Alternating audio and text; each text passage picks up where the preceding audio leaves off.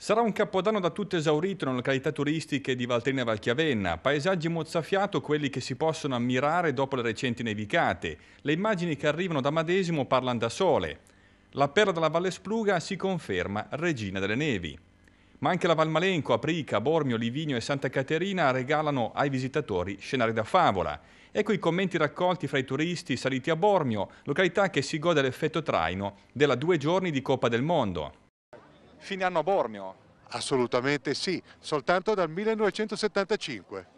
Quindi sono 42 anni. 42 anni e posso godere anche della cittadinanza oraria di Bormio. Vengo da quando sono nata, per cui capisce, secondo me è stupenda. Hai imparato a sciare qui? Sì, certo, ho imparato a sciare qui e secondo me, io che ho fatto tante piste, questa della discesa libera è la più bella in assoluto. Ci racconti com'è nata l'idea di venire a Bormio per... eh, Per fare l'ultimo dell'anno e basta. Dove arriva? Da Milano, Praviago. La scelta di Bormio, com'è nata l'idea?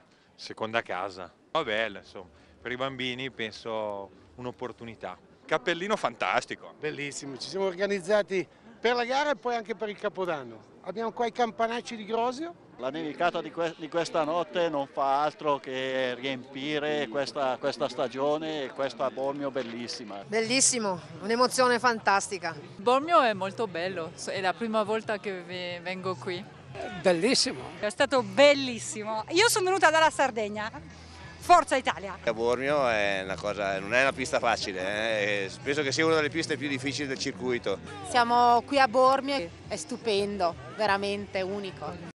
I fiocchi oggi sono tornati a cadere anche sul fondovalle e qui siamo a Sondrio, città che in vista della notte di San Silvestro ha già diffuso l'invito a festeggiare senza botti o fuochi d'artificio. Dagli obiettivi quello di evitare inutili sofferenze agli amici a quattro zampe che hanno un udito più sviluppato del nostro. Fuochi e botti vietati a Chiavenna, dove è stata emessa un'ordinanza ad hoc. Il 2017 iniziò con il grande incendio divampato sopra la città, pauroso rogo innescato proprio da un fuoco d'artificio e nessuno vuole rivedere quelle scene all'alba del 2018.